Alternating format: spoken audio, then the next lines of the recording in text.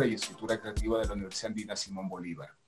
Em, el propósito de estos coloquios es permitir un acercamiento con escritores actuales contemporáneos para conversar de manera informal sobre sus procesos creativos, sobre sus novelas. Siempre eh, nuestro interés es acercarnos al libro más reciente, eh, en este caso la, novela más reciente de María Sol, de las tres que ha publicado, ha publicado una novela del 2013 que se titula La chica, la primera novela. Siempre es una primera emoción, una enorme emoción el primer libro, ¿no, María Sol? Es como el, después publicó, Sí, después publicó el libro de Olga, el 2017, yo te conocí por este libro. Y eh, su novela más reciente es De quién son estas piernas, del 2020, ¿no? Entonces la idea es poder tener una, conversación con Marisol, acercarnos a ese proceso creativo, a las anécdotas, a las experiencias con los lectores, a las preocupaciones literarias que tiene nuestra, nuestra invitada eh, y poder un poco a partir de eso pues desarrollar un, conocimiento de ese, llamémoslo así, secreto del oficio que tiene María Sol que ahora nos lo va a compartir. Así que bienvenidas, por favor, si quiero que se sientan cómodas, así que podemos avanzar con el diálogo. Daniela, por favor. Hola, buenas noches. Eh, buenas noches, María Sol, Leonardo. Eh, muchas gracias, Leonardo, por la invitación a interlocutar este coloquio con María Sol. Estoy muy agradecida de poder compartir pantalla esta noche y de velar ciertos secretos que tienes del oficio. Quisiera empezar la noche haciéndote ciertas preguntas que, que me surgen en cuanto a eh, ¿Cómo eres? Antes, antes de ser escritora, me imagino fuiste lectora.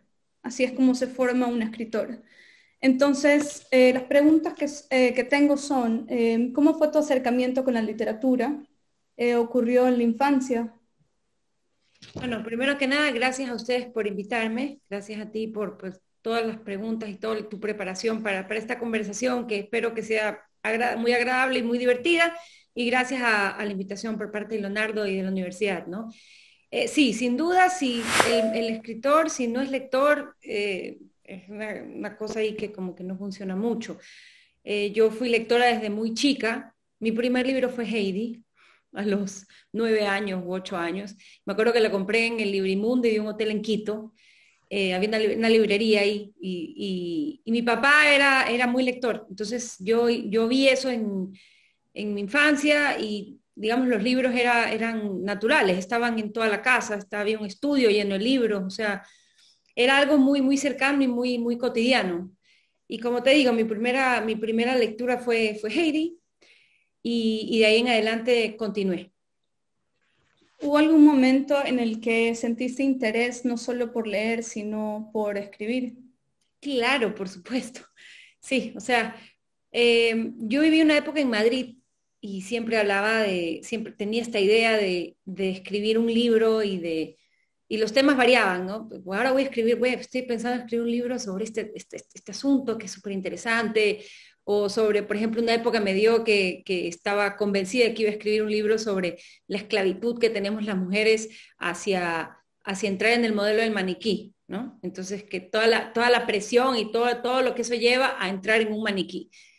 Y así siempre se me ocurría, este fue un proyecto que lo tuve en la mente mucho tiempo, por eso me acuerdo, pero de ahí tuve, tenía ideas, ideas e ideas. Sin embargo, siempre pensaba que no estaba lo suficientemente capacitada, que, que, no, no, había hecho cursos literarios, yo no estudié literatura, eh, el lenguaje, pues siempre piensas que tu lenguaje no es lo suficientemente extenso como para poder explicarte lo suficientemente bien. Y así una serie de taras, taras mentales que te, que te, que te, que te paran hasta que me quité las taras. Y muchos escritores hablan de una red de apoyo que desarrollas eh, cuando emprendes en la escritura. Digamos, eh, tú empiezas a escribir un libro y necesitas personas que lean y te den su opinión. Eh, ¿Tú encontraste esta red de apoyo en tu familia desde el principio? yo te soy sincera, yo no tengo red de apoyo. No.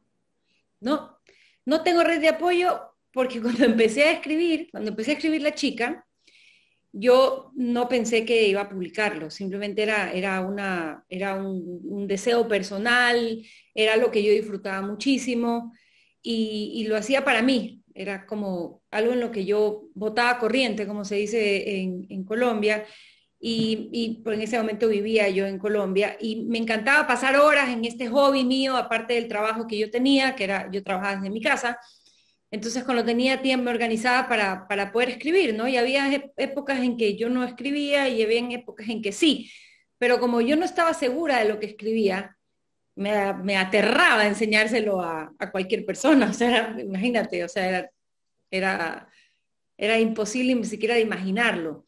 Y, y, me quedé con ese hábito de, no compartirlo, de no hablar, hablar muy poco sobre lo que escribo. Eh, no, yo no, le, yo no enseño nada hasta que no está terminado. ¿Y cómo lograste entonces llegar a publicarlo? Eh, a tomar esa decisión de decir, lo voy a llevar adelante, voy a publicar y no solo quedarte ahí, sino escribir un segundo y un tercer libro? Sí, mira, eso es una buena pregunta. Eh, yo empecé a escribir La chica en el 2008 y lo terminé en el 2011.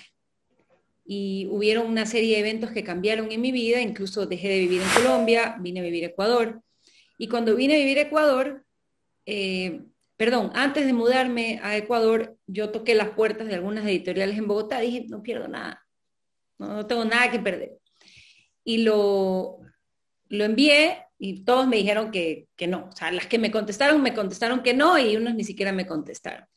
Luego vine a vivir a Guayaquil, volví a Guayaquil después de 12 años de vivir afuera y ahí sí tienes razón que yo se lo envié a un par de, a, dos o tres personas, más que nada de mi familia, pero cuando ya estaba terminado, ¿no? Y era porque em, decidí enviarlo a la editorial El Conejo. Dije, no tengo nada que perder, nada. Entonces, El Conejo decidió que ellos me sugerían que yo haga una edición de autor de la chica. Entonces, en, ese proceso de edición de autor se lo, enseñé a mis padres, por ejemplo, a ciertas personas de mi familia que yo sabía que eran lectoras, eh, y así fue como la chica, digamos, salió con una edición de autor de, Editorial El Conejo. Pero es que el tema de escribir no es un tema, personalmente, no es un tema de que a quién le gusta o lo que me dicen las personas que lo leen. Realmente lo, eh, eh, mío de escribir es, es, un, es un tema muy personal, es algo que a mí me gusta, es algo que yo disfruto entonces, yo empecé a escribir el libro de Olga incluso antes de publicar La chica. Cuando yo publiqué La chica, el libro de Olga ya, ya había empezado a correr, por decirlo así. O sea, es algo que para mí lo uno no tiene que ver con lo otro. O sea, si alguien que me está escuchando está pensando en escribir, yo mi primer consejo sería que, no piense en lo que le van a decir sus, sus, familiares más cercanos, sino que si de verdad quiere escribir, que lo haga, ¿no? Y que no solo busque la opinión de, familia, de personas cercanas, sino personas que no son cercanas, que pueden tener otra visión sobre, sobre el texto, porque sin duda hay un aspecto, y en esto creo que me alargo un poco a, la pregunta, pero, pero ya pues tenemos un rato para conversar. Ajá. Este, la, la gente tiende a pensar que tú escribes de ti mismo. Las personas cuando te leen, sobre todo tu familia, tienden a buscar dónde se encuentran en tus relatos y, no siempre están en los relatos. Digamos, los personajes sin duda tienen, tienen cosas de la gente alrededor, pero a no ser que sea autobiográfico o biográfico, eh, el tema no siempre es personal. Entonces es más fácil si tú tienes la opinión de alguien que, que, no tiene la cercanía familiar y que por ende no va a estar intentando encontrarse eh, dentro del texto.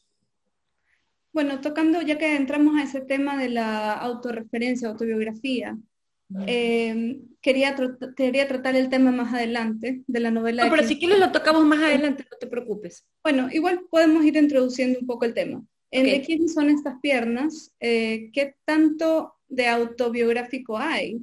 Nada. nada, no hay nada autobiográfico. Autobiográfico, nada. Sin duda habrán cosas ahí que, que son mías, pero, pero son mías tanto en el, la viejita que cruza la calle, que no tiene nada que ver con la historia, como de repente algún postre que le gusta al personaje principal, me explico. Pero de autobiografía no hay nada. Te quería hacer justamente la pregunta, eh, porque tú, tú, la novela la terminas de escribir este año que pasó en pandemia, si no me equivoco. Correcto. Y encontré en la novela eh, que tú tocas bastante en los primeros capítulos especialmente, una especie de aislamiento que vive el personaje principal, que es María. Quiero saber entonces ¿qué tanto de tu experiencia en el aislamiento trasladaste a la experiencia del personaje? Mira, me encanta tu pregunta porque el tema del aislamiento, que justamente como dentro del primer 30% de la novela, eh, yo lo escribí en el 2016, 2017. Y, la, y María, Rutini, María Rutini, el personaje de María Rutini, nace en una cama de, de psicología, por decirlo así. Y el aislamiento se refería a la al, peso, al dolor y al, gran desafío que tiene la sociedad moderna de, sobreponerse a un aislamiento que, que, digamos que se ayuda o se fortalece a través de la tecnología. No me imaginé jamás que la novela iba a terminar o iba a irse por, o sea, aquí primero que iba a suceder una pandemia, nunca pero nunca pensé que como que se podía alinear en ese sentido. La soledad de, María Rutini obedece a un aspecto familiar y tecnológico, pero no tenía nada que ver con la pandemia. Bueno, eh, quisiera hacer una breve pausa y tal vez leer el, resumen del libro para quienes nos están escuchando y no han logrado eh, leer todavía la novela. Eh, se trata en el año 2032 y el, el holograma regula la interacción entre los humanos. María Rutini despierta sobre sábanas blancas en una habitación que parece ser de nadie. Se mira las piernas y no las reconoce. ¿De quién son estas piernas? Delante suyo un ventanal al mar con olas que danzan apasionadas para estrellarse contra las rocas. El camino para recuperar su identidad no será fácil. Debe descubrir el rompecabezas cerebral de una historia de sucesos que hoy huyen a su consciente, pero que llegarán con fuerza para mostrar a quién pertenecen las piernas. Esta es una novela que cuenta el viaje de una persona por reconocerse dentro de su existencia. Bueno, volviendo entonces eh, al tema del, aislamiento, entiendo en 2016 no teníamos ni idea de que esto iba a llegar a pasar, pero ¿qué tanto influyó en la trama? Eh, ya el suceso en sí, entrar a este momento de la pandemia. ¿Cambió, cambió la historia? No, no cambió la historia, solo me dio elementos más enriquecedores para, para acelerar como el comportamiento tecnológico, ¿sabes? Eh, sin querer, absolutamente sin querer, una coincidencia eh, de la vida, la, pandemia ha, potenciado el uso de la tecnología, la conexión a través de la tecnología, justamente lo que estamos haciendo hoy. Tú estás en, X lugar, yo estoy en X lugar, Leonardo está en X lugar y así. Y las personas que nos escuchan, ya no tenemos que vernos en, una sola habitación. Eso en el 2017 era, era, era, era impensable, eso se usaba en las grandes, eh, digamos, multinacionales o, cosas así, e incluso las compañías grandes hacían viajar a sus ejecutivos a las reuniones que tenían que darse. Lo que yo creo que pasó en esta novela es que muchas teorías de conspiración eh, alimentaron la manipulación de la escucha a través de la tecnología, ¿no? El tema de los algoritmos, que eso es algo que, que, está, que existe pre-pandemia, es algo que se ha ido construyendo con los años, la inteligencia artificial, el desarrollo de biotecnología, el transhumanismo, como se llama, ya, ya visto como, como la biotecnología insertada en el cuerpo humano. Una serie de cosas que las veíamos muy lejanas y que, por ejemplo, en la pandemia, todas estas teorías de conspiración de que en la vacuna venía un, un, nanochip que te iba a hacer surveillance, o sea, que te iba a perseguir por todos lados, y, y e incluso en los pasaportes, lo que hoy hablamos del pasaporte de la vacuna, que es una manera de hacer una trazabilidad hacia dónde has estado, qué tipo de contexto has tenido. O sea, realmente si te pones a ver, la pandemia ha hecho que nosotros renunciemos a ciertos derechos en pro, de, una, de un concepto de seguridad generalizado. Es decir, hoy por la pandemia tenemos que dar información nuestra que antes no se nos hubiera ocurrido dar. Y, así, ¿no? Y, los cambios grandes los suceden de esa manera. no nos damos cuenta y resulta que es que ya cuando, cuando te pusiste a pensar ya era tarde. Entonces eso alimentó muchísimo la trama de, la novela.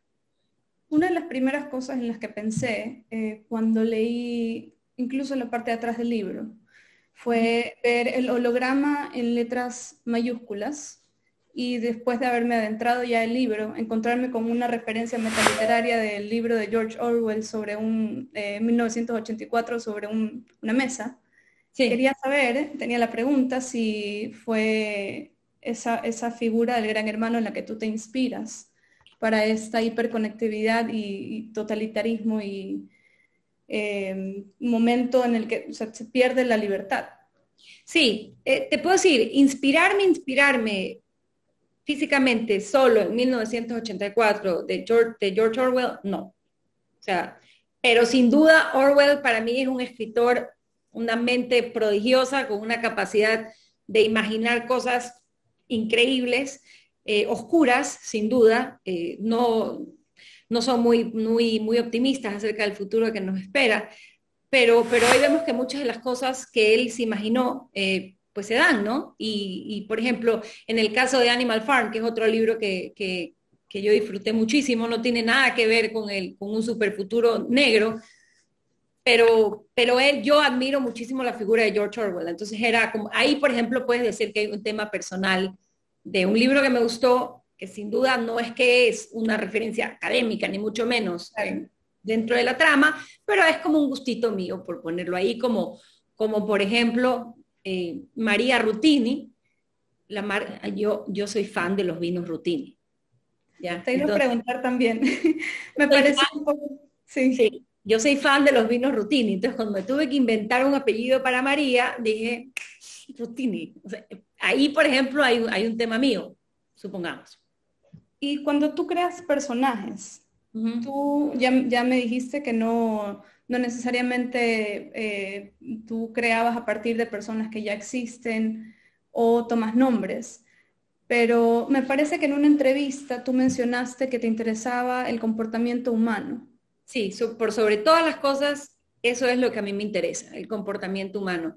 Eh, inclusive cuando escribo artículos de opinión o cuando escribo las novelas o en mis análisis eh, políticos o de entorno, en, entorno en el sentido de planeación estratégica, para mí el comportamiento humano es, es la clave de todo y, antropológicamente el comportamiento humano no cambia tanto pero sí la tecnología. Entonces, eh, cómo vas analizando el contexto te va a decir mucho de cómo funciona el mundo.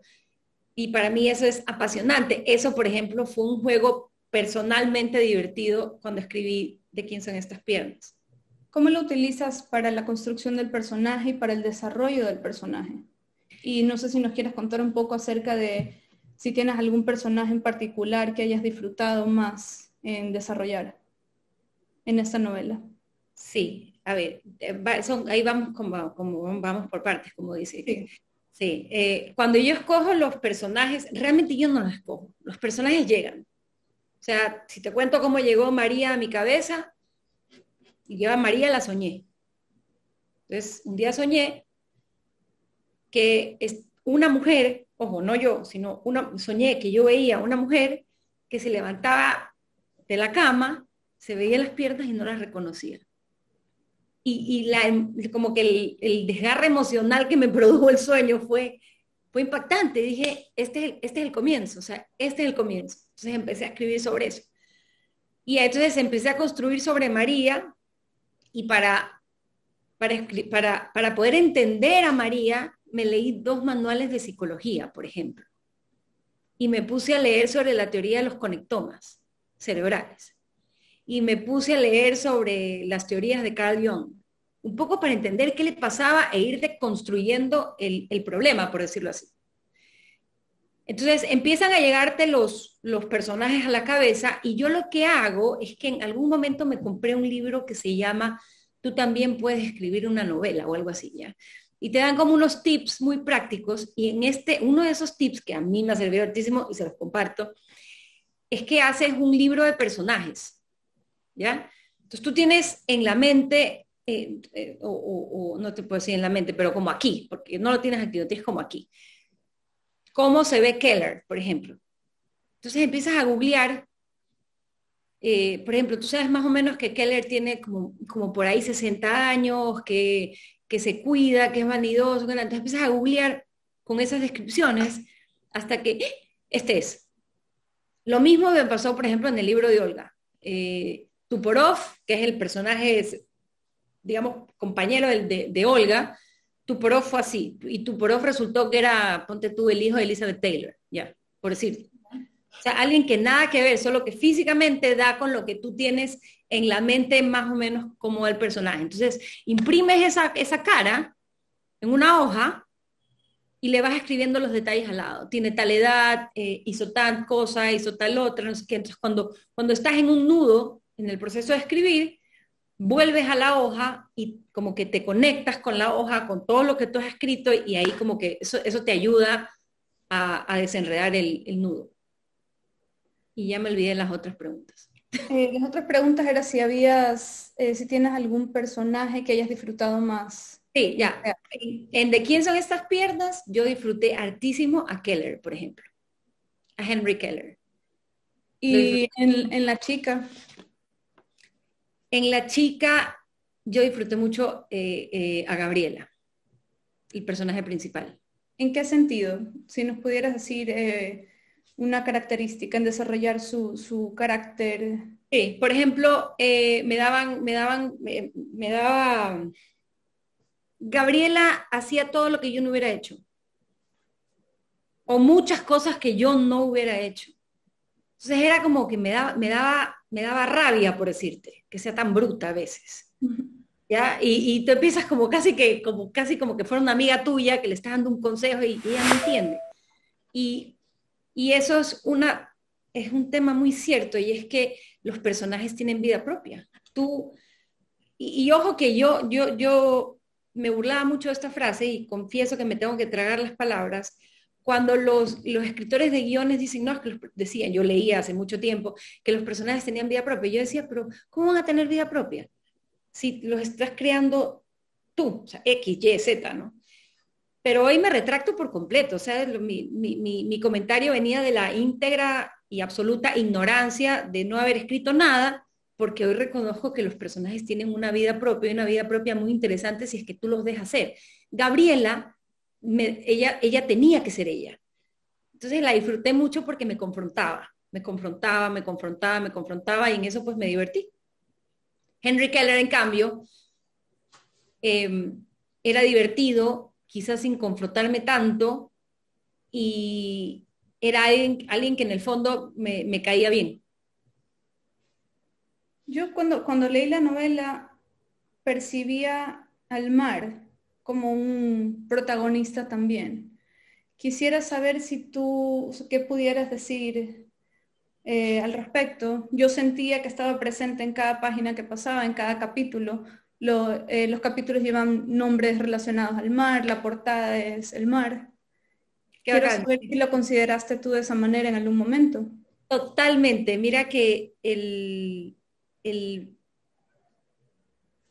como leí esto, eh, eh, eh, como te digo, María viene de un sueño, María viene del inconsciente. De alguna manera María viene del mar, ¿sabes? El consciente es, hay una analogía que siempre hago, es que el planeta Tierra es 30% masa, 70% agua. Y en el comportamiento humano, 20% viene del consciente y el resto viene del inconsciente, más o menos, ¿ya? Entonces, es eso y, ella se encuentra en el mar y por eso siempre el mar, el mar la alivia o, el mar la, el mar es un reflejo. El mar siempre, los picos de las olas, marea baja, pleamar, no sé qué, ya. Entonces, sí, definitivamente me alegro hartísimo de que lo hayas percibido porque el mar es, un, es parte de los, de, los personajes de la novela, sin duda. Por eso los nombres de los capítulos, por eso la, la, misma foto, o sea, cuando trabajamos la portada, era de, de que el mar era tan protagonista como las piernas, porque es el consciente y el inconsciente, ahí. Esa es la, la idea. Y si te fijas en la portada, que es un, es un detalle que, que, que, no siempre se, se, se, se va a notar, hay un pedazo de la ola, exacto, hay un pedazo de la ola que está reventado y la ola siguiente está por reventar. es como lo que ya le pasó a María y está María sin reconocerse y luego lo que ella va a hacer con la vida que le queda. Eso es una coincidencia esa foto, ¿ah? pero yo escogí esa foto, una de las razones es por, por eso. Como, que la tomó Pepe Hanse. Pepe Hanse. Exacto. ¿Es la primera vez que trabajas con él? No, todas, mis portadas las ha hecho Pepe. Conozco su, su trabajo. Yo estudié artes visuales. Ah, mira, él, él, es un fotógrafo, yo lo admiro hartísimo, lo respeto hartísimo y aparte es mi amigo de la infancia, entonces es lo máximo trabajar con él. Él hizo la portada de La Chica, la portada del libro de Olga y ahora el de quién son estas piernas. Hablando, hablando de artes visuales, ¿tú encuentras eh, inspiración, referencias en, otro tipo de arte, sea teatro? Veo mucho que incluyes música. La música, la música es otro, es otro protagonista de la novela. La música, la música te dice lo que las palabras no te pueden decir. La música te da unas emociones que, que son muy ricas, que son, que son generosas y que realmente complementan eh, las emocionalidades, los hechos, las acciones, el, tono, la velocidad de lo que está sucediendo. Y yo cuando escribo, escribo con música. ¿Escribes con qué tipo de música escribes? Depende. Eh, eh, pero, por ejemplo, si estoy describiendo, por decirte, una escena de... todo depende del momento, del momento de que, que estoy describiendo. Entonces, ponte, voy a esa canción y esa canción alimenta mi emocionalidad cuando estoy escribiendo. ¿Sí me explico? no, sé si la palabra es emocionalidad, pero, aporta muchísimo a mi capacidad de descripción, porque, hace el momento más completo. Ahora, en general, yo, yo escribo con música suave, de compositores como Craig Armstrong, como Olafur Arnalds, como Niels Graham, como Ennio Morricone. Soy fanática de Ennio Morricone a, morir. Y ya, así. ¿Crees tú que, que, esta música que escuchas afecta el ritmo de la? Totalmente. Y a veces es tanto lo que está pasando que hay que apagar la música. Hay, momentos en que está pasando tanto que hay que apagar la música y, hacer inmersión, o sea, porque hay nudos, hay momentos en que, en que la descripción tiene que ser súper cuidadosa. Y entonces mucha, mucha, mucho, mucho, mucho acá te hace bulla en el proceso de construir. Yo recuerdo de mis momentos en, la Escuela de Artes Visuales que nos decían que nos alejemos físicamente de una pintura o un dibujo para de lejos ver las proporciones. ¿A ti te pasa esto cuando tú escribes? Que estás entregada al, momento y tienes que alejarte físicamente del texto, tomarte tu tiempo y retomar. Totalmente. Me tengo que ir. Tengo que cerrar la computadora e irme, salir. Y a mí, el, por ejemplo, el, mar me ayuda un montón. Por eso la dedicatoria dice con mucho agradecimiento al mar, particularmente en esta novela. El mar fue, fue importantísimo. O sea, el mar me daba mucho, mucho input. Yo observo mucho y como que la naturaleza también te da como, como claves interesantes a la hora de describir cosas. Porque te digo, el comportamiento humano al final somos en una cadena evolutiva animal somos un animal más. Entonces, cuando lo consideras así, lo despersonalizas y, es bastante, bastante interesante. También es verdad que así como tú describes que te puedes alejar de un cuadro, a veces los cuadros, por ejemplo, el uso del Kandinsky en la novela, em, los cuadros te dicen cosas, y, pero te dicen cosas con respecto de la persona que tú eres el momento que ves el cuadro. Luego te alejas del cuadro tres meses, vuelves al cuadro y, hay cosas que ves diferentes, que percibes distintas, porque los tiempos y tú cambian todo el tiempo, continuamente. Una persona, una persona distinta la segunda Totalmente, tú eres una persona hoy, serás otra persona en, una semana, no creo que mañana, pero, pero digamos en una semana según lo que te pasa. Entonces, de la misma manera, tienes que, tienes que irte, procesar, tener distancia y volver. Eh, María Sol, eh, quería aprovechar un momento para hacerte otra, otra pregunta, eh, para que Daniela tome un poquito de agua también, entonces, este, y pueda descansar un poco.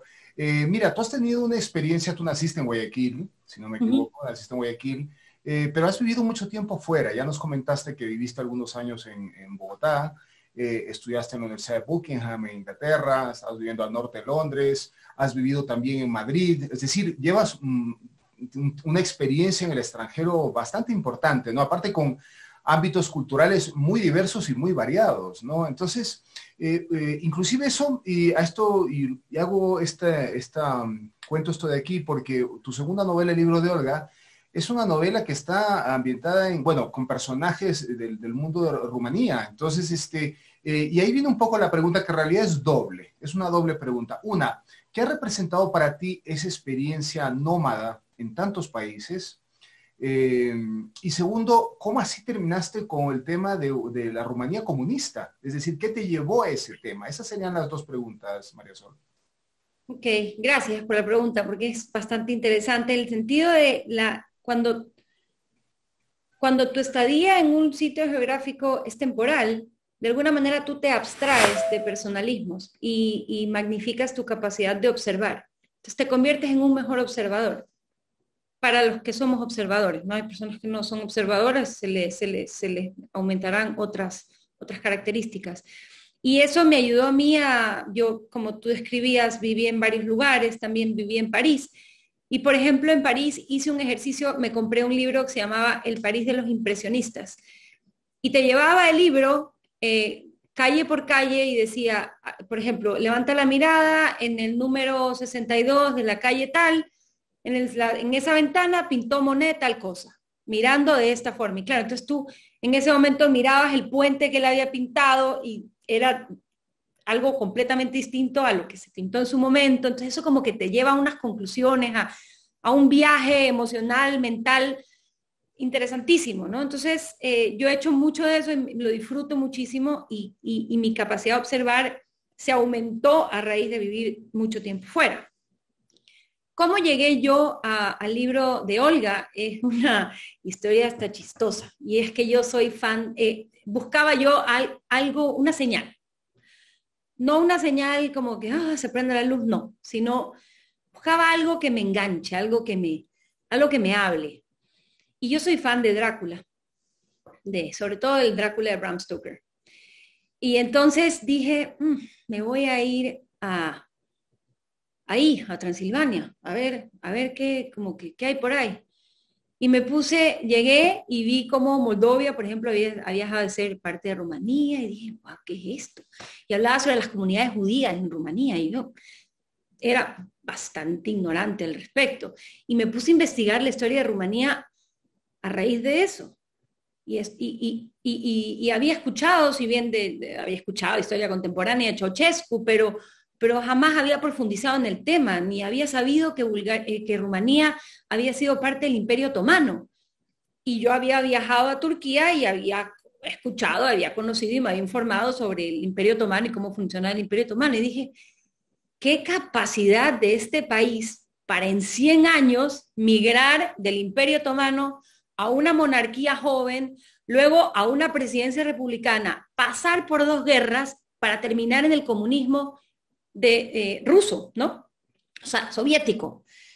Entonces, así, con ese interés en este, en este perfil tan increíble, empecé a crear estos personajes, pero fue porque la historia del país me pareció apasionante. Qué interesante anécdota, este, María Sola. Aparte, no sabía, no sabía que habías, vivido un tiempo en París. ¿Cuánto tiempo estuviste en París? Eh, viví como cuatro meses, cuatro meses y pico. Me, tenía que quedarme más, pero, pero no, no, no me gustó tanto vivir ahí. Mira que eh, aparte una, tocar una novela sobre Rumanía no es algo habitual en la, en la novelística ecuatoriana, eso sí que es una, una completa exploración. ¿no? Yo hace unos años pude conocer en Estocolmo a Mircea Cartarescu, que es ahora uno de los grandes escritores rumanos. Era un fan de Cortázar, una cosa impresionante, un, un, gran fan de Cortázar, entonces un gran lector de, de autores eh, latinoamericanos, ¿no? Eh, mira, y con estas experiencias que tú has tenido, ya tienes tres novelas, este, Eh, y claro, tú vienes de alguna manera desde un margen de la literatura, porque no estudiaste literatura, te dedicaste al comercio exterior, eres consultora, pero ya con tres novelas empiezas a ganar lectores. Ya no es un primer libro que puede ser como una, una, una, inspiración, pero que a veces queda ahí, ¿no? Una vez yo leí un estudio de, del mundo editorial, un estudio francés, ¿no? Y decía que normalmente los autores terminan por desaparecer en el segundo o tercer libro. Entonces, pero a ti te veo con energía para seguir escribiendo muchísimo, así que vamos a tener muchas novelas más de, María, María, Sol Pons. Eh, pero ahí viene la pregunta que te quiero hacer. Ya tres novelas eh, te generan unos antecedentes penales literarios, es decir, ya tienes una, una trayectoria, por llamarlo así, ¿no? Eh, y otra vez hago preguntas dobles, ¿no? Este, primero, ¿qué te ha significado en el sentido de ganar lectores? Porque te va abriendo un espacio que ya empieza a salir de tu entorno inmediato, ¿no? Entonces, eh, eso, eso como primer tema. Y segundo, ¿hacia dónde crees que va lo que estás escribiendo? Es decir, ¿tú cómo te sientes como escritora? Eh, tienes un horizonte muy rico, tienes muchas inquietudes, veo un pulso enorme de, de, ganas de seguir escribiendo. ¿Hacia dónde crees que va tu escritura? ¿Vas a seguir con novelas? ¿Has pensado en algún momento a lo mejor escribir cuentos? ¿Te interesan los guiones? ¿O dentro de las novelas, qué te gustaría a ti seguir explorando o desarrollar? Esas serían mis dos preguntas, María Sol. Gracias, Leonardo. Mira, me parece, es como que me, como que me leíste la mente. Justamente ahorita estoy empezando a escribir eh, algo que pensé inicialmente que podría ser para teatro, pero, pero creo que se va a quedar en, en, en, un libro de cuatro historias cortas, cuatro o cinco historias cortas, acerca de, lo puedo contar, acerca del chuchaqui. Y las ¿Sabes? Eso es algo que, que ¿quién no ha tenido un chuchaqui? O sea, si no tienes un chuchaqui, por favor, vaya y téngalo, porque es que te van a salir las preguntas más miserables de la vida, vas a retorcerte como el peor animal terrestre, vas a tener una serie de preguntas o vas a tener una sonrisa de caca.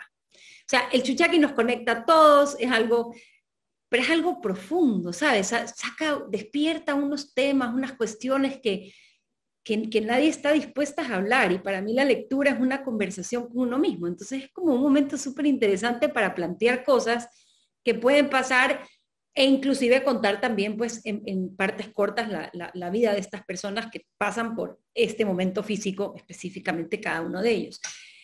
También tengo ya claro, y lo empecé, digamos, porque tengo como una cábala, por decirlo así, que cuando termino una novela, dejo puesta la piedra de la otra. Y, ya sé a, dónde va y esta novela que voy a desarrollar, porque está, no te digo ni en pañales, es un embrión, em, va un poco, es más regional, esa es bastante más cerca. Eh, a mí me interesa mucho la vida de las personas y creo que la vida de las personas, si tú no hablas del contexto, es incompleta y esa a veces puede ser hasta hasta una tara de que, de que hablas mucho de contexto. Por ejemplo, hay lectores, y, a eso iba la, a la otra pregunta acerca de los lectores, hay lectores que me dicen que el libro de Olga les costó mucho porque tenía, tenía mucha historia y se les hacía muy difícil y una historia que era muy lejana a la realidad ecuatoriana o a la realidad, digamos, latinoamericana y que no, no se engancharon tanto. Yo particularmente le tengo un cariño inmenso al libro de Olga eh, pero comprendo que no todo el mundo quiere leer de historia. Entonces, si te digo, si sé a dónde voy, yo no sé a dónde voy específicamente. Yo no tengo, yo no escribo con, una, con un plan eh, de, principio, medio, nudo y, final. No, yo no, no, escribo así. Yo soy más bien como de ir creando, de ir tejiendo. Las cosas van pasando, se van armando y, y ahí se va, se va construyendo. Entonces, sí, estoy escribiendo este tema del chuchaqui que es tremendamente divertido y también puede ser bastante oscuro. Y la otra novela, sí, lo que te puedo decir es que es más cercano y habla un poco sobre la migración venezolana y, aspectos que, que suceden dentro de eso. Esto que mencionas ahora último va a ser una novela. Estás trabajando en una novela. Sí, o sea, el, tema del chuchaqui son cuatro historias cortas, que es algo muy, muy, muy rápido, muy breve, que pensé, como te decía al principio, que le decía Leonardo, pensé que podrías, puede ser algo para, para teatro, no estoy segura, está todavía construyéndose, pero lo otro sobre la migración venezolana sí, sí es eh, una novela. Yo tengo una pregunta acerca de lo que estabas comentando ahora con Leonardo. Cuando tú, tú escribes editoriales, sí. Eh, y por otro lado, tienes eh, tu trabajo novelístico. ¿Cómo haces el salto entre lo uno y lo otro? hay, hay, dos María, hay dos María Sol que escriben, no es una sola que decide tratar ciertos temas en lo uno, ciertos temas en lo otro, porque como te comentaban tus lectores, esta novela de quién son estas piernas tiene referencias históricas, políticas. Sí, de hecho, cuando hay, hay, partes de quién son estas piernas que incluso tú puedes percibir un sesgo político en la descripción. Y eso es, tengo que hacer un, mea culpa, por decirlo así, porque, pero ya, pues no puedo evitar, no, no puedo evitarlo, soy yo la que escribe. Eh, no son dos personas, es exactamente la misma persona, solo escribiendo para, con dos propósitos distintos. Eh, la opinión, eh, cuando yo escribo opinión y escribo, cuando empecé a escribir de opinión, era temas como coyunturales o de, de interés siempre en el tema del comportamiento humano, ¿no? Eh, siempre por ahí. Y luego fui poco a poco entrando al tema de opinión política y es donde, donde en, el, ámbito en el que yo más escribo mis artículos de opinión. Pero es la misma persona, es el mismo análisis de comportamiento humano y la política es el mejor reflejo de las sociedades. Entonces es, es una cancha súper clara de lo que por un lado hay como sociedad o ciudadanía y por otro lado como líderes o mandantes, por decirlo así. Entonces, cuando escribes de opinión, básicamente estás analizando, en, estás poniendo el, el, el lente muy, muy de cerca en hechos muy específicos, muy públicos. Pero es exactamente lo mismo. ¿Qué dirías que te permite lo uno y un poco te limita lo otro? Ay, a ver. En opinión te limita que te estás metiendo con la vida real, sobre todo en política. Y eso siempre es un riesgo. O sea, opinar de política no es, no es un tema ligero, es un tema que hay que asumirlo con mucha responsabilidad, con mucho cuidado y, sobre todo con, te podría decir que continuo porque tú no puedes escribir lo que te dé la gana de las personas, ni de los hechos. Si vas a publicar opinión, tienes que hacerlo con responsabilidad, toca informarse, toca entender un montón de cosas que normalmente no, debe, no, no tienes por qué entenderlas, pero para escribir de ellas debes hacerlo. En cambio, que cuando escribes ficción, tú vuelas y hay una responsabilidad. O sea, ese, ese, es, un, ese es un camino súper ligero es, mucho más divertido. En cambio, la opinión es, más densa y, donde la responsabilidad te pone un, peso que, no es poco. Tengo una pregunta al respecto. Eh, ¿Qué sientes tú que has cambiado escribiendo novelas? ¿Cómo ha cambiado tu escritura ahora que escribes novelas? Mm, pienso que, bueno, yo empecé escribiendo novelas, ¿no? Antes que escribir opinión, empecé a escribir La chica. Entonces, ¿qué pienso que ha cambiado? Pienso que la práctica, como en todo, mientras más escribes, lo mejor lo, vas a hacer. Entonces, pienso que quizá eh, he mejorado mi capacidad de concretar ideas o de, por ejemplo, hay, un tema de, para hablar no solo de novelas, sino también de, artículos de opinión, porque pues a alguien le puede interesar. Hay, hay, un tema y es que a la gente no le gusta que le digas qué hacer. A nadie, a mí particularmente, a mí no me gusta que me digas qué hacer. Entonces, hay, hay una forma de escribir, que es que tú como que tú estableces los hechos, hablas de detalles, pero al final eh, respetas siempre la decisión individual de decidir, de pensar, de hacer lo que quieras. Eso yo lo tengo al principio, quizás no lo tenía tan claro, jamás se me va a ocurrir, por si acaso, decirle a alguien qué va a hacer o no mediante un artículo de opinión, porque ¿quién soy yo para decirle a alguien qué tiene que hacer? No, en lo absoluto. Solo que de ninguna manera se interprete que eso es lo que yo estoy tratando de hacer. Porque yo al final lo que hago es darte mi opinión. Y tú la puedes recibir como tú quieras.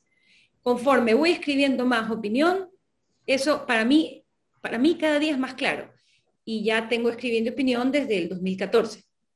Entonces creo que es algo que, que lo puedes percibir cada, si tú ves los mis artículos iniciales a mis artículos de hoy, eso está cada vez más claro, que yo no pretendo que yo no pretendo decirle a nadie ni qué pensar ni qué hacer y que escribo con la humildad de decirte, esta es mi opinión, esta es la información que yo tengo y aquí queda.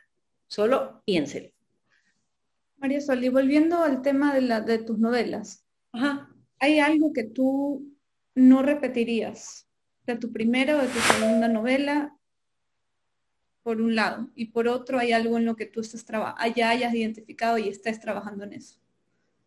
Sí, ah, te puedo decir que dos cosas.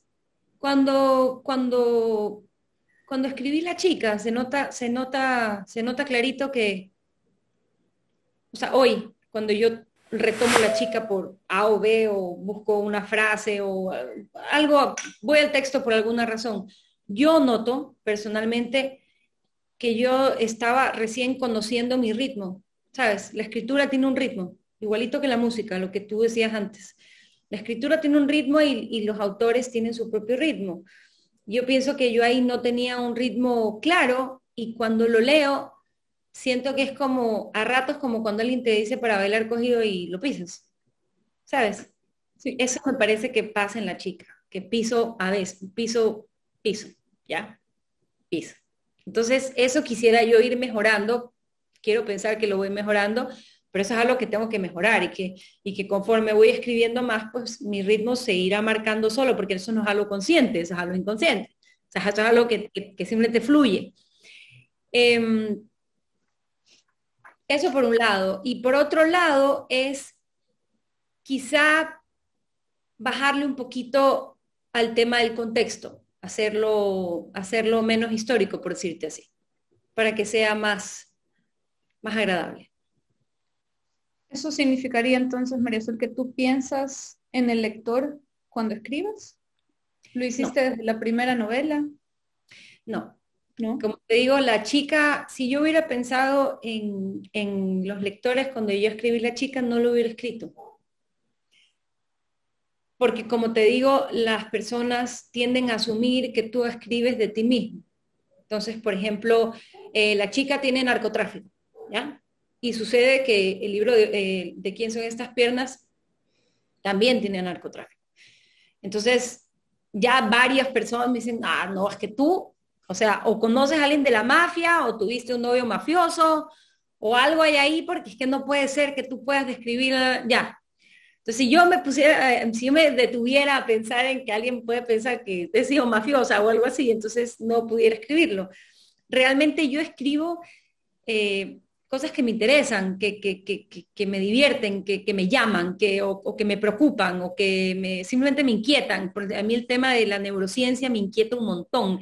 Eh, cómo se puede, por ejemplo, los algoritmos, el tema de Internet, eso no hemos hablado, eso por ejemplo es algo que como que me despierta, así, el tema de, cómo se manipula psicológicamente el comportamiento humano a través de las redes, a través del Internet, a través del clic, a través de, toda la data dura que se guarda de cada cosita que hacemos en este mundo a través de la computadora y cómo toda esa información entra a un perfil para luego venderte cosas, para luego alimentar intereses económicos, sociales, políticos y así manejar una masa crítica de la, sociedad. Y, las personas que crecimos sin Internet, porque yo te puedo decir que, no sé, pues tuve en el año 96 mi primera computadora, pero yo tenía 17 años, bueno, 16, estaba por cumplir 17 digamos, tuve 16 años, digamos, de, treparme en una bicicleta horas, de meterme a la piscina, de ir a un río, de, eh, ya. Los niños hoy por hoy que viven pegados a estos aparatos, hoy incluso más con la pandemia, cuando la educación es virtual, cuando ya ni siquiera puedes como bloquearles el acceso a la tecnología porque se volvió una necesidad, una cotidianidad. todo ese, ese, ese lado negativo de vivir pegado al aparato y cómo eso influencia el comportamiento humano, es algo que a mí me preocupa de sobremanera. Este aislamiento, este, esta soledad, este tema de, de no tocarse, de no leerse, de no percibirse, de, no estar en un, por ejemplo, los estudiantes, de no estar en una misma aula, eh, cómo se, se les amputa la capacidad de ser empáticos, de comprender al otro ser humano. Y el ser humano para coexistir necesita empatía. Entonces, cuando todas estas facilidades o estas realidades llegan a la cotidianidad de la existencia, inevitablemente el comportamiento humano va a cambiar. Y va a cambiar en una manera que no podemos proyectarla todavía, pero yo quisiera ver, por ejemplo, en 10 años, cómo van a estar los chicos con todo lo que les ha pasado, con todas las reacciones de ahora. Ahora la gente no se te acerca, los niños, los niños. Uno, antes de que empecemos el conversatorio, yo te, decía a ti y a Leonardo que, que descubrí, por ejemplo, por, por un tema de un, de, específico, de un viaje, que tengo la psiquis afectada por el tema del COVID. Y cuando me vi alrededor de mucha gente, empecé a entrar como en como en una especie de, no asfixia, pero como, uy, o sea, casi que sentí el virus entrando por los poros. Yo tengo 41 años. Pero los niños de 12 años que sienten que tienen que andar con esto para estar protegidos, que no se pueden tocar, que se tienen que alejar, o sea, ¿qué tipo de personas, qué tipo de sociedad vamos a tener a futuro?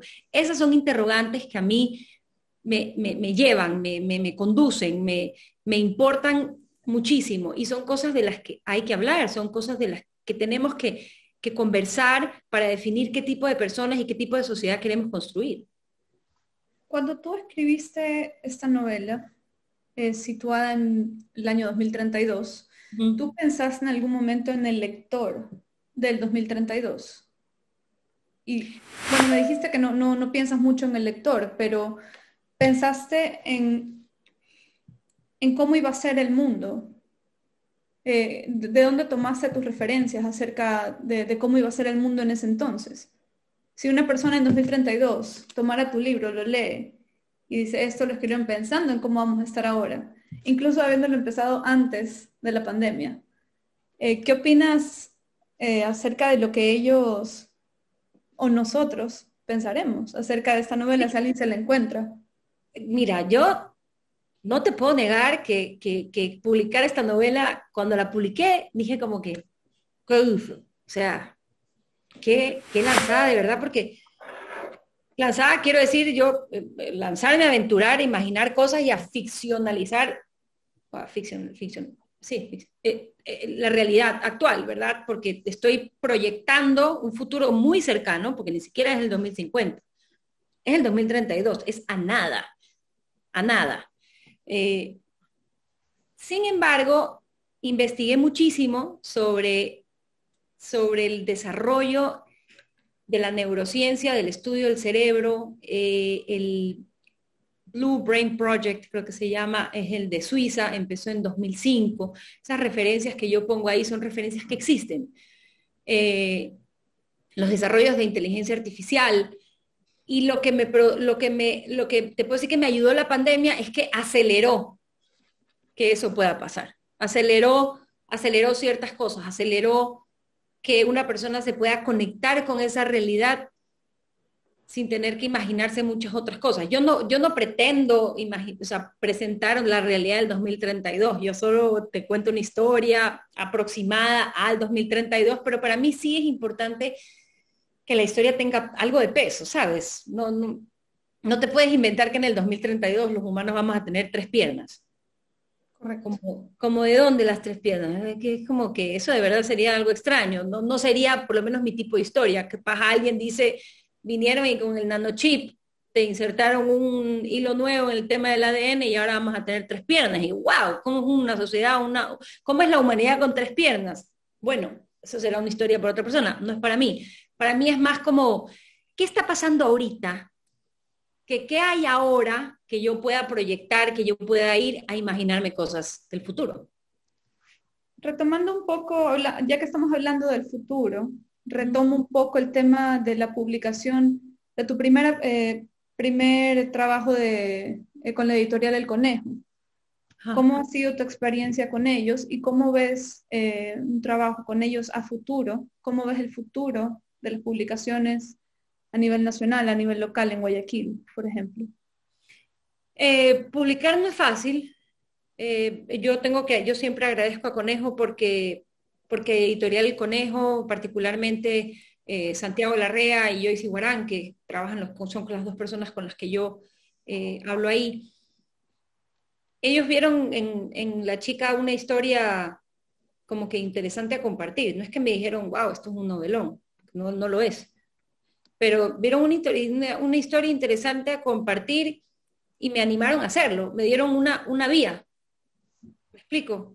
Eh, yo, yo pagué el costo del, en, cuando es edición de autor, tú, tú financias el proceso y todo, pero es, es una ayuda importantísima que alguien diga que hay cierto valor en esa historia que tú vas a contar y que te dan el servicio de, edición y que te aconsejan y te guían y te dan la puerta para distribuir tus libros y estar en las librerías. O sea, es un trabajo, es un acceso súper importante para quienes estamos empezando de la nada y no somos nadie.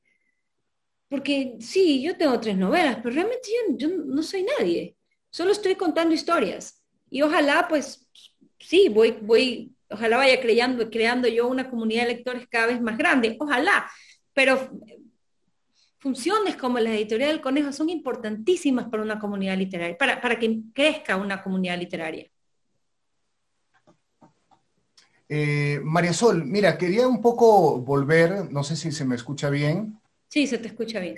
Eh, es que desapareció, no sé qué pasó, desapareció mi pantalla, a ver, para, poder verlos, ahí está. no, bien, quería volver un poco al tema de la, de la de, el tema futurista de tu novela, porque como tú sabes, en Guayaquil hay una novela muy peculiar de Manuel Gallegos Naranjo que se llama Guayaquil Novela Fantástica, que es una novela de 1901 que habla del año 2000, o sea, se va al futuro, ¿no? Es como que Guayaquil hubiera un poco esta, esa necesidad de, imaginar el futuro, esta ciudad tan cambiante, tan que, pasa dos años y un sitio que conocías ya no existe y se ha movido, entonces es, una ciudad mutante, ¿no? Entonces le habría encantado a Baudelaire, ¿no?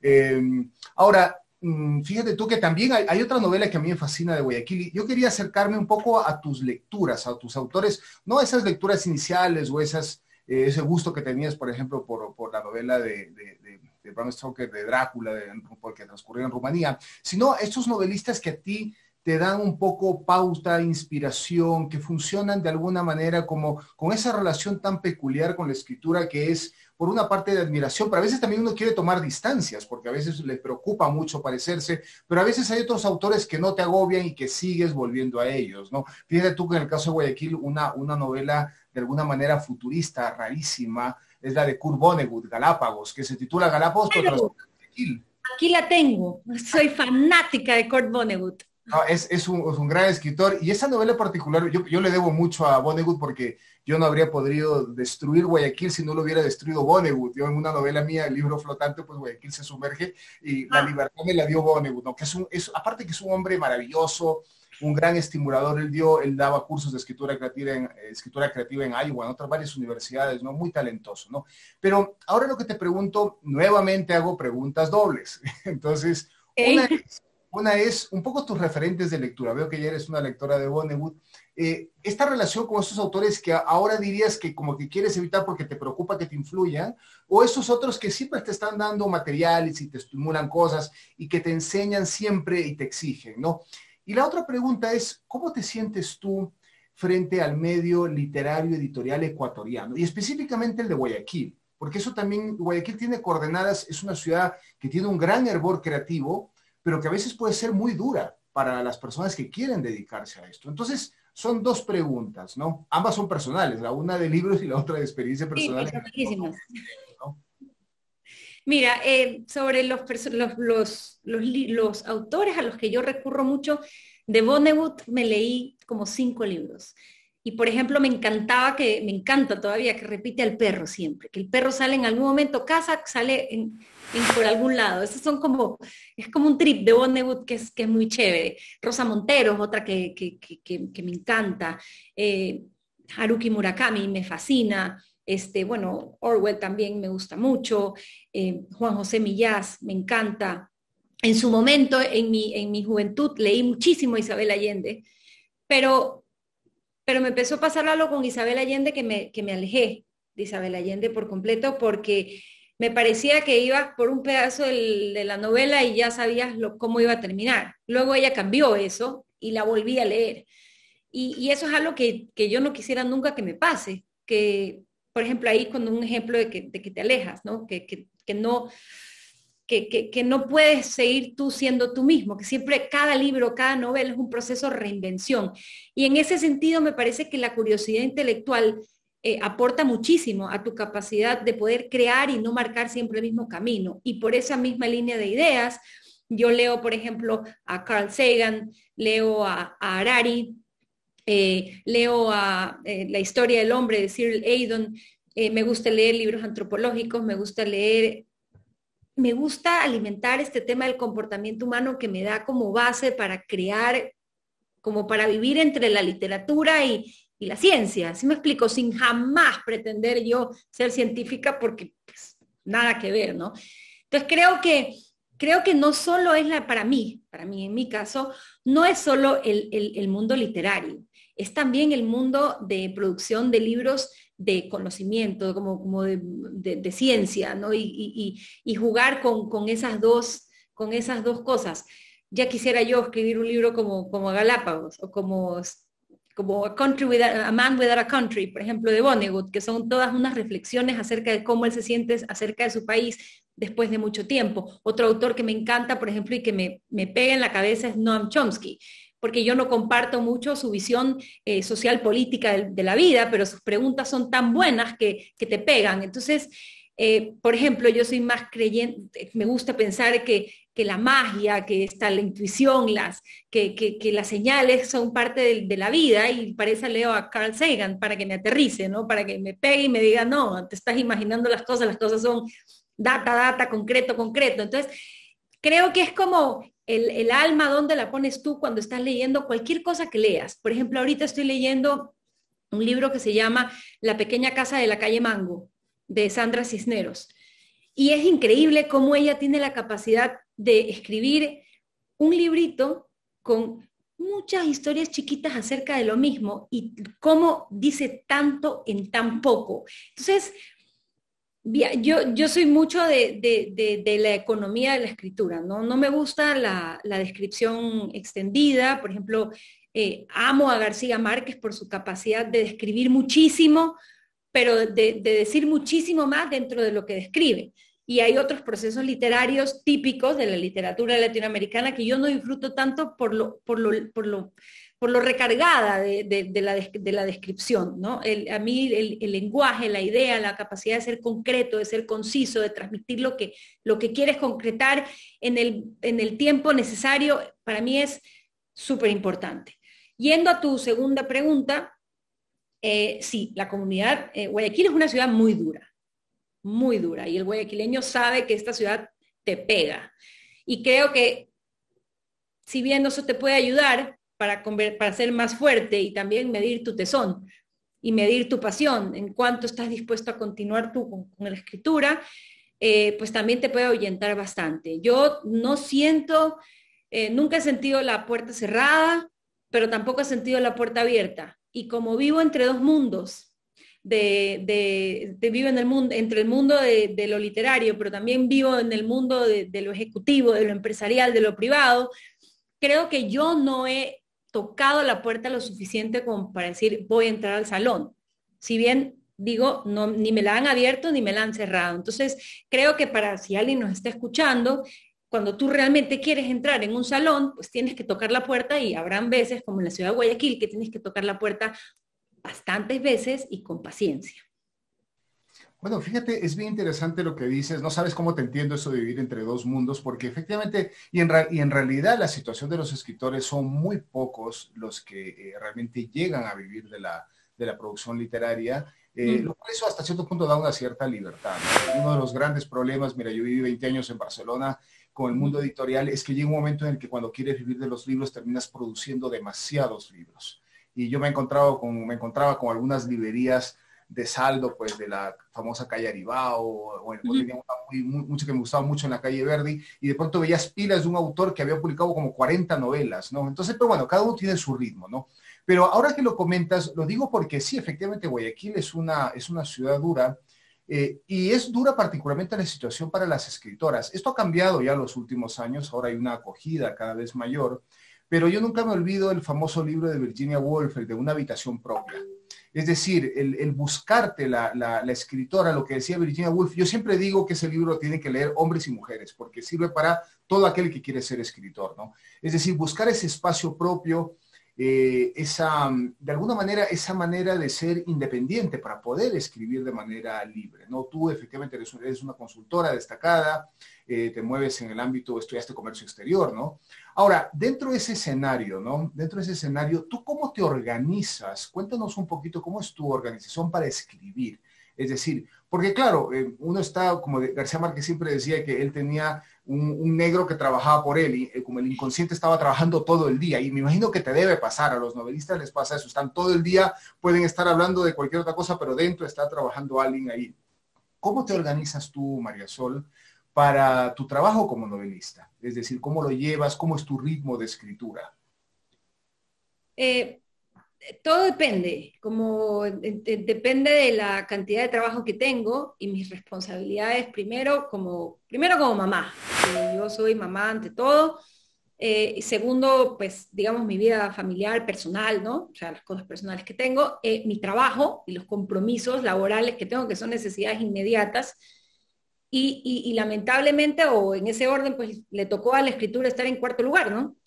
Entonces yo lo que hago es que los fines de semana, a mí me gusta mucho la playa y cuando puedo irme a la playa voy y, escribo.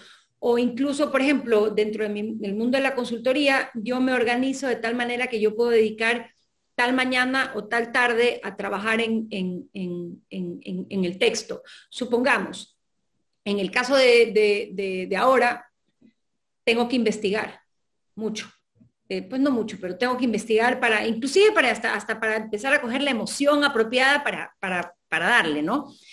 Entonces empiezo y yo armo carpetas. Yo armo carpetas de, de, de, lo que investigo, de lo que me gusta, de lo que siento que aporta y lo voy metiendo en la carpeta y lo voy metiendo en la carpeta y ahí empiezo a tejer. Entonces lo que hago es dedicar ciertas porciones de, la semana. Hoy tengo la tarde, entonces hoy le voy a dedicar la tarde, pero tú sabrás que no siempre cuando le dedicas el tiempo, la creatividad fluye. Entonces, hay momentos en que uno tiene que decir, bueno, voy a separar una semana, por ejemplo, hace, hace tres semanas tuve que, tuve que reeditar todo un texto y me fui una semana a un hotel a, a concentrarme 200% en el trabajo que tenía que hacer, porque si tú cortas constantemente el texto, el, texto se va a ver afectado. Eso es una realidad que tenemos. Entonces es un desafío muy, muy grande. Murakami dice que Murakami dice que él no se para de la silla hasta no escribir tal, tanto número de hojas. Pero claro, Haruki Murakami es un mega autor que vive de, de sus libros es conferencista también, trabaja en universidades y puede tener esa rutina súper establecida. Pero en el tema de, gente como quienes empiezan, como yo, que, no la tenemos así, pues nos toca tener una disciplina férrea para decidir, bueno, voy a escribir tantos días de la semana, de tal hora a tal hora, y la labor tiene que ser hecha con el mismo compromiso que, que se toma cualquier otro compromiso. No es algo ligero, digamos. Si tú lo vas a tomar a la ligera, no vas a terminar nada. Ahí veo una pregunta, no sé si quieren que la responda. tenemos, tenemos ahora preguntas en el chat. Voy a leer la primera pregunta. Es de Paul López. ¿Cuánto corriges lo ya escrito? ¿Realizas reescritura? Sí, sí. Yo reviso, reviso em, casi siempre voy leyendo y reescribiendo como de los tres párrafos para arriba, porque hay veces, hay cosas que, como que no me suenan. Eh, no es que te digo que esto está mal, o, o, por ejemplo la memoria me falla en algo y entonces tengo que volver, eh, eh, corregir algo o confirmar algo y luego arreglarlo y eso. yo termino, por ejemplo, termino la novela y la leo de nuevo y la edito toda. O sea, la, reviso, por decirte. Eso, eso, eso es un trabajo de cajón, ¿no? O sea, tú terminas el texto y luego lo, lo, editas y luego ya con el editor lo vuelves a leer. O sea, no sé qué te puedo decir, que puedes terminar leyendo cuatro o cinco veces tu propia novela, ¿no? Sí. Eh, bueno, quiero ahora invitar a los que quieran hacer preguntas a, transmitirlas por el chat. Eh, Marisol, tenía una pregunta acerca de lo que dijiste sobre los rituales que tienen ciertos escritores. ¿Tienes tú algún ritual? Sí. Yo cierro la puerta y pongo un papelito afuera de la puerta que dice escritura en proceso. Eso quiere decir que no me tocan la puerta. Pongo música o audífonos grandes y me voy. Y hay veces cuando la escena me pide mucho, bajo el blackout, bajo la, cortina pesada, la que no hay luz. Y es como que, como que entro al, mundo que estoy describiendo. Es casi como que soy una persona invisible dentro de la historia. Así, así me gusta sentirme. Me gusta sentirme que, que yo estoy de manera invisible en ese mundo.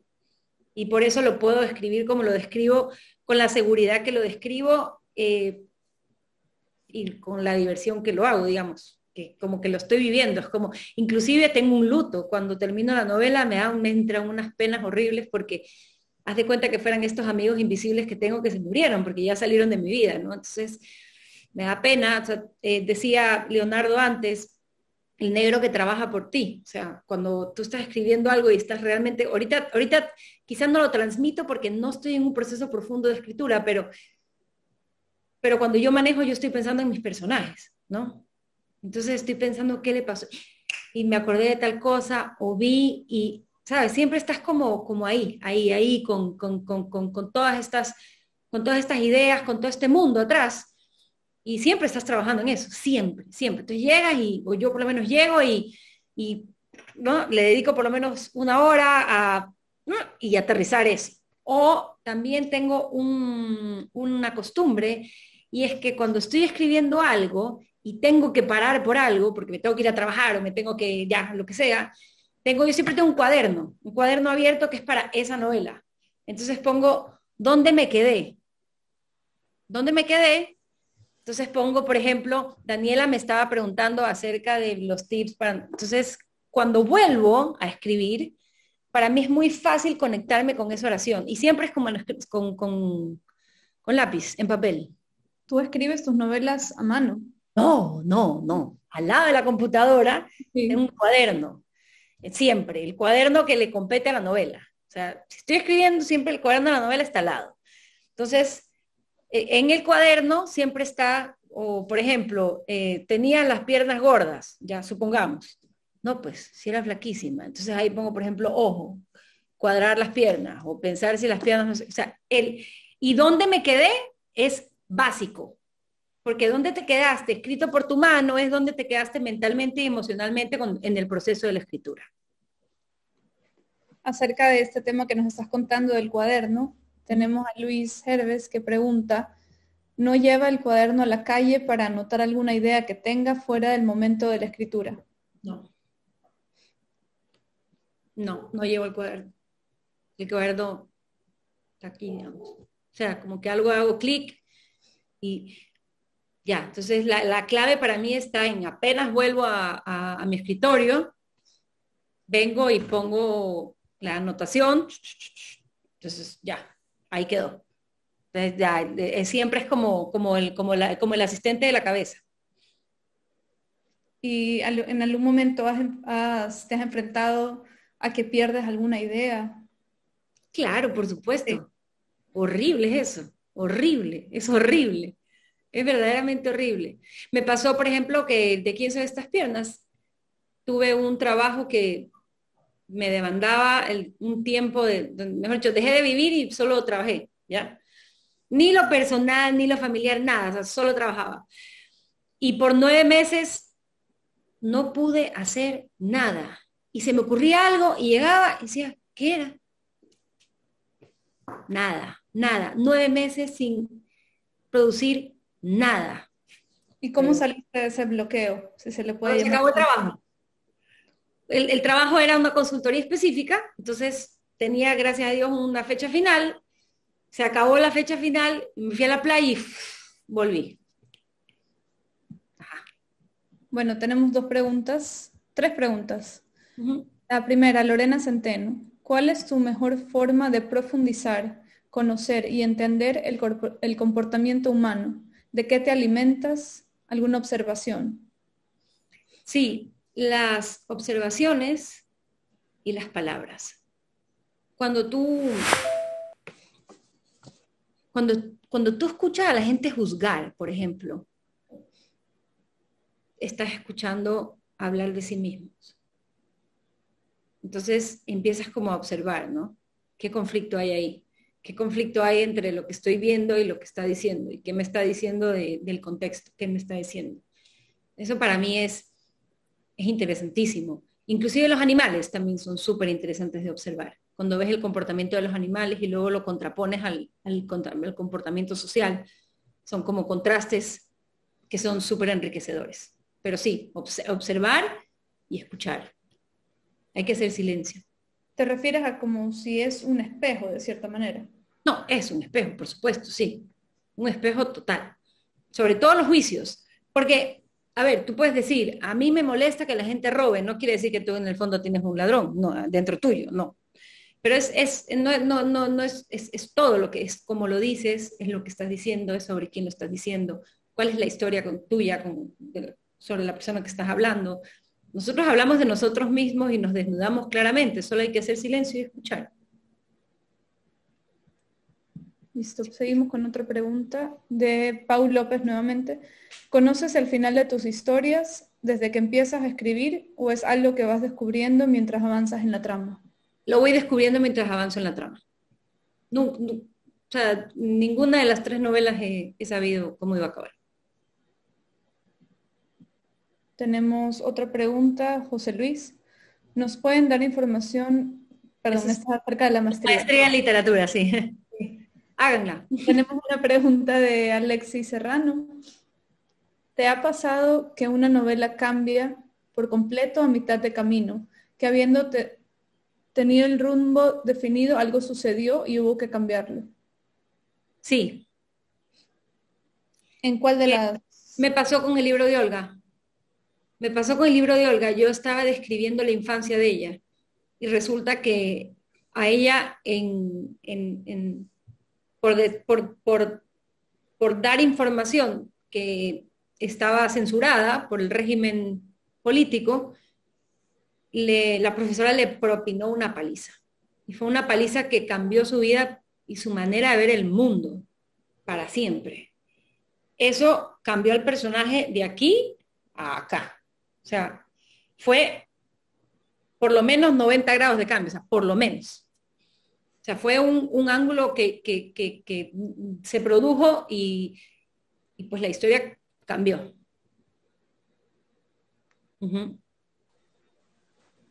Eh, María Sol, eh, mira, es muy interesante todo lo que has contado. Ya vamos, eh, tenemos que ir cerrando porque se, pasa, ha pasado volando la, hora y media que hemos tenido. gracias al, al, público también por las preguntas. Has despertado mucho, mucho interés por conocer tu manera de, de trabajar. Respecto a la pregunta que hizo José Luis sobre la maestría en literatura de la Universidad Andina, sí, ya estamos, eh, estamos abriendo dentro de poco las convocatorias para la, el, nuevo año que empezará en septiembre. Las convocatorias abren antes, así que se abrirá la maestría en literatura y escritura creativa. Tenemos dos menciones en literatura latinoamericana y en escritura creativa. De hecho, Daniela forma parte de la mención en escritura creativa. Olvidé comentarlo al, al comienzo. Ella es una destacada alumna de la, de la maestría. Marisol, hay muchísimas cosas. Yo de, verdad te agradezco, te agradecemos con Daniela porque ha sido muy enriquecedor poder escucharte, eh, eh, conocerte personalmente, porque yo solamente te había leído nada más y nos habíamos escrito muy brevemente. Mm. Eh, y la verdad que es, muy interesante conocer a una, a una escritora, una novelista tan dinámica como tú, ¿no? Es decir, has despertado un montón de, de, de, lecturas. Cuando estabas hablando sobre ciencias cognitivas, yo, sabes, estaba pensando en David Lodge, este novelista inglés que es un gran interesado en las ciencias cognitivas Eh, porque efectivamente veo que tienes todo un trabajo de, curiosidad intelectual y de investigación. Y quisiera con esto hacer una última pregunta justamente por este terreno, ¿no?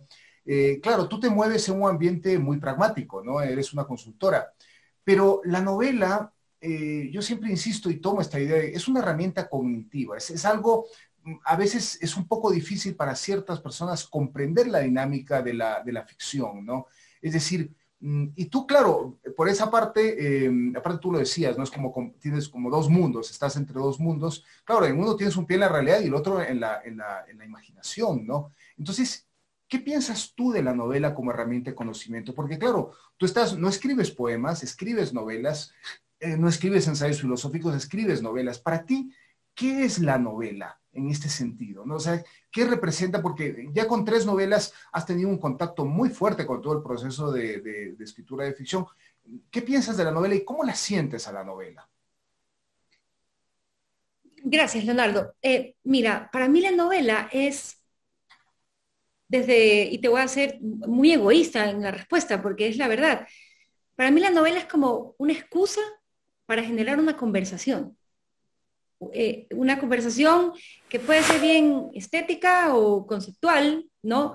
según cómo plantees el, argumento, pero es eso, o sea, es, como que los personajes llegan a la conversación. Para mí es, es, una conversación como tal. Por ejemplo, te pongo un, caso así específico. En el libro de Olga, el comité de censura eh, de Rumanía, este comité de censura, que luego, luego me enteré que sí existía un comité de censura. Yo no sabía, pero, pero, pero se dio, fue una coincidencia.